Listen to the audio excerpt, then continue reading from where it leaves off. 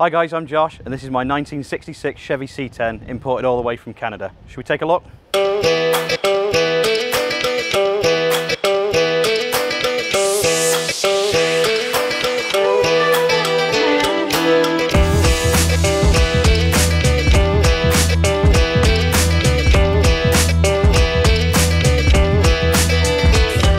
So Original Chevy C10, we've got a 250 straight six, 4.1 litre engine in it, pretty original, real nice and clean. Uh, it's on full air ride system, very manual, very basic, lovely system. Obviously we've got the white walls, we've got the centre caps, clean paint, I mean look at the paint.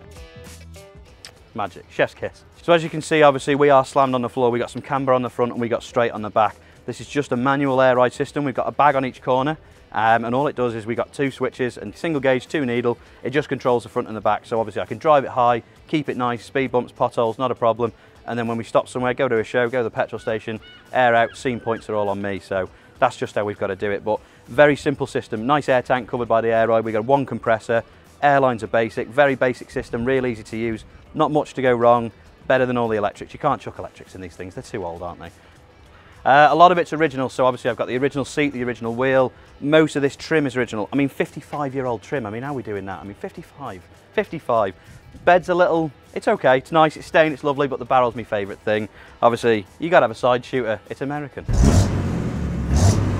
So most of this started probably a year ago sort of time. We were looking and we went to Tatton Stars and Stripes around the corner. What a hell of an Americana show we did that and I just fell in love with the trucks. Um, I couldn't get it out of my head, so all I'd spent my entire days doing was searching through eBay, Craigslist, and then loads of different websites trying to find the one. And this popped up on eBay on bids, and I had to have it, and that's just how we ended up. So a month later or so, we ended up chatting, FaceTiming the guy, lovely bloke from Canada.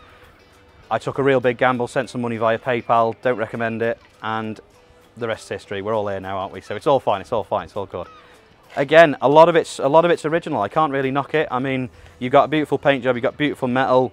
The bumpers are the better. You can get the farm bumper. This is the really nice bumper. We're just missing the beauty plates, but we'll not talk about that. Um, obviously, original hooks, original chromeware. Every trim piece is 55 year old. You can't knock it. And the paintwork again is, I, I keep saying it was beautiful. It's absolutely beautiful. Should we take a look at the engine? Precautions. Eh. So not the cleanest part of the truck, but it's got character. This is what it should look like and what it should smell like. I wish you could smell it, it'd be great. But you've got that original 250 straight six 4.1. We just upgraded it a little bit to make it run clean. Obviously, we've got a Filter King from Tweeks. We've got the air cleaner. We've got the K&N breather filter. We've got some nice brake lines. We want it to stop. We want it to run. We want it to be clean. We want it to drive. That's all I wanted. So ignore the oil, ignore the pipes, ignore the cable ties. That's just how we roll. But it doesn't need to be perfect. This is original. This is American, this is how it should be.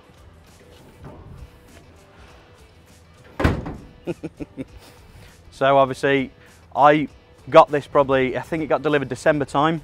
Um, and obviously I, there was a few bits I didn't know were meant to be done. So we ended up doing a big build on it. So I had to do a bed off, fuel lines, air lines, move the bags, move the fittings, uh, clutch kit, everything to go with it. It had a floor in it, it had the C-notch welding, obviously big up weld works. Uh, and a lot of people that helped me out, but obviously it was a lot of months and nights of trying to get this right.